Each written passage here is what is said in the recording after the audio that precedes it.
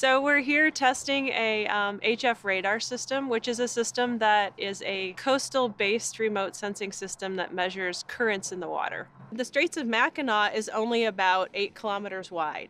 That gives us a great place to test this system to see if it can really provide value in a freshwater environment that has a really high interest in terms of its ecological and economic importance. So one of the great values of this system is it provides us with a map of the surface currents across the whole straits, rather than a point measurement like a buoy. Here in the Straits of Mackinac, we've never, till recently, been able to do the combined model of Lake Michigan and Lake Huron, and hence know in the computer models that they are connected in the Straits of Mackinac.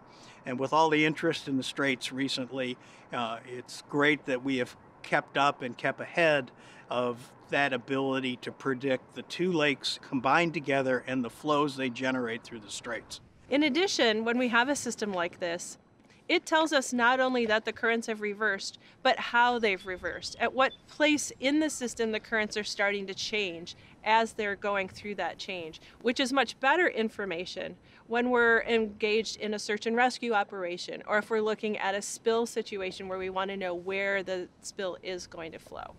It's also a system that in some cases can see hard targets in the water. So for instance, if a ship's going by, it knows that a ship is there and approximately what speed it's heading.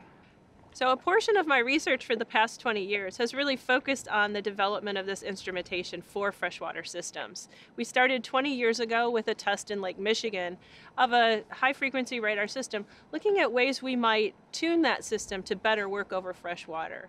The results of that long time of research have really culminated in this experiment where we were able to set up two systems at the Straits of Mackinac in order to measure the currents over an area that's of really strong interest to the state.